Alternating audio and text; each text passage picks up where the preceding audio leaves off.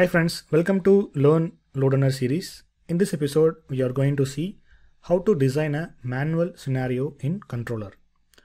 If you have not seen my previous videos about controller uh, IDE and how controller works, please watch so that you will understand the fundamentals of how controller works behind the scenes.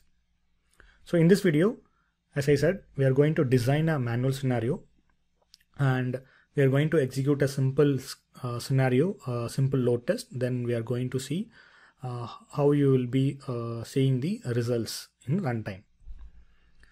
So controller offers two types of scenarios. One is the manual scenario and goal oriented scenario. So this manual scenario will help your uh, load test by specifying the number of virtual users to run.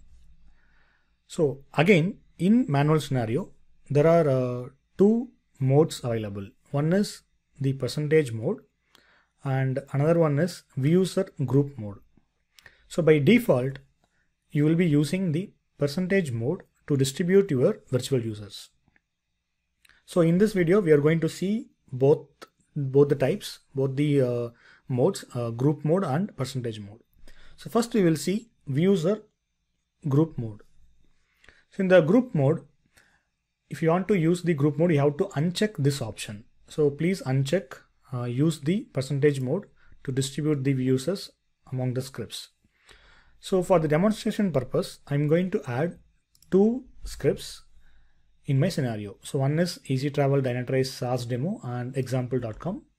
So just add both the scripts so that uh, you will see these two in your grid. So just click on OK.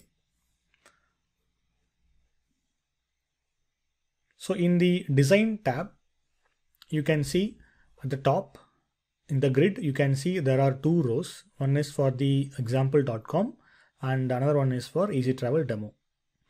So the first column represents the checkbox. So if you uncheck this, this particular group or script will be ignored during the execution.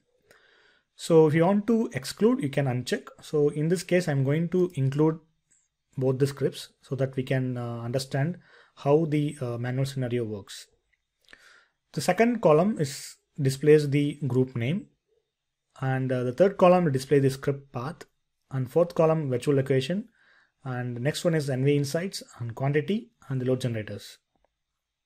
So by default, as I mentioned, it will be in the percentage mode. So you have to uncheck it. So if you uncheck it, you can see these options in the scenario schedule. So scenario schedule will display the uh, schedule by scenario and the run mode is real world schedule.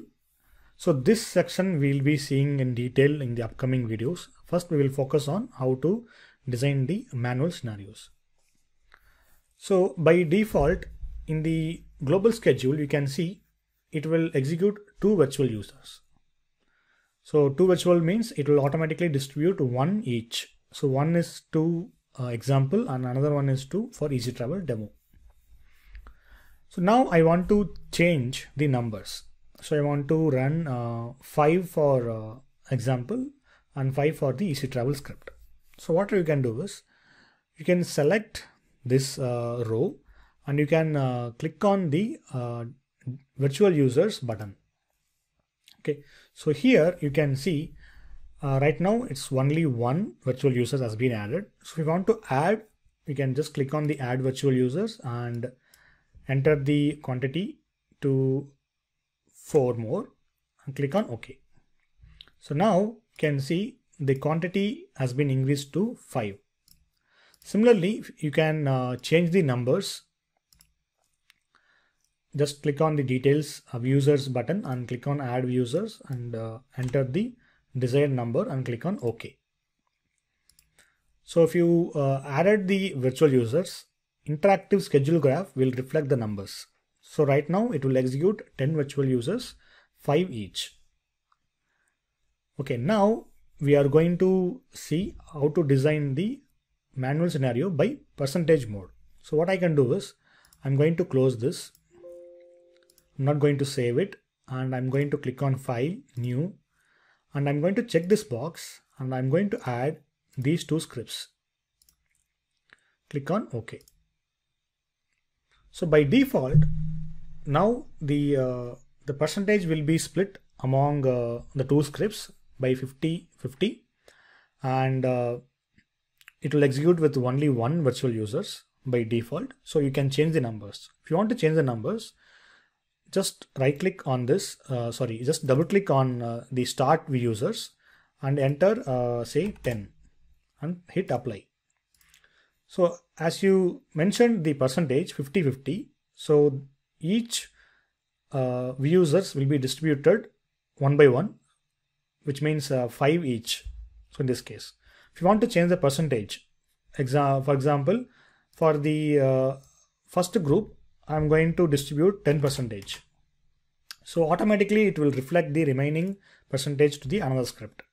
So now the out of 10 uh, 10 virtual users means one will be for example.com and uh, the nine virtual users will be for easy travel demo. So you have to change the numbers the percentage in the grid and you have to change the virtual users in the global schedule. So here I can go for 90 and hit OK so now you can see the interactive schedule graph is reflecting 90 virtual users so 10 percentage of the users will go for example.com and 90 percentage of the users will go to easy travel uh, Dynatrace demo script so now this is a cumbersome because I need to every time I have to go to file new to change the uh, modes. So I want to convert from percentage to manual. So I have to recreate the script, but there is no need to recreate. Controller will offer the conversion pretty easily. So if you want to convert from manual uh, uh, user group mo group mode to uh, percentage mode, go to scenario and select convert scenario to the user group mode. So just hit this and it will give display the warning message. So just hit yes. So now it automatically convert your uh, scenario mode to group.